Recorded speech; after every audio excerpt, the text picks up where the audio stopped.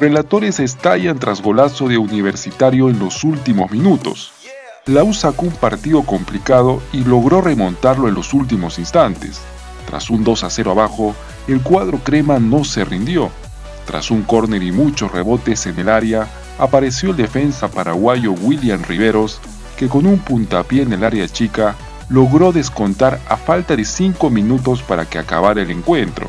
Es ahí donde parecía que el partido iba a acabar con una derrota, y nuevamente en un córner apareció como en muchas ocasiones Alex Valera, que con un cabezazo bien dirigido puso el empate final 2 a 2, un punto que la U logra rescatar para seguir en la pelea y por ahora ser puntero en la fase de grupos de la Copa Sudamericana. Si te gustó el video, suscríbete activando la campanita y dándole like. Subiré contenido sobre fútbol todos los días.